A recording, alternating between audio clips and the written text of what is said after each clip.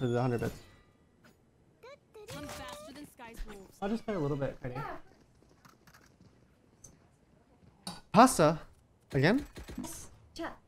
Whoa. It's a meat sauce pasta with Tyson's favorite olives.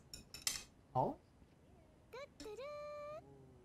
Um, I also made tea, but I didn't know texted you. Um. Yes, please. Oh shit, I wasn't able to set up my TP. It's okay.